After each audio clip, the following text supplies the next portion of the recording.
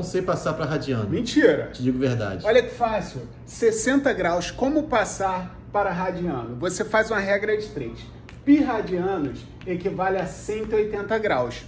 Quanto será 60 graus? E aí, regra de 3, eu multiplico o cruzado. Vai ficar x igual a 60 vezes π dividido por 180 graus. E agora eu simplifico onde? Leg, leg, tome, tome. O denominador vai ficar 3, resposta π sobre 3 radianos. Lembrando, se ainda não votou hoje, vai lá no link na bio e vota. Prêmio Best Curió no topo. Vai lá.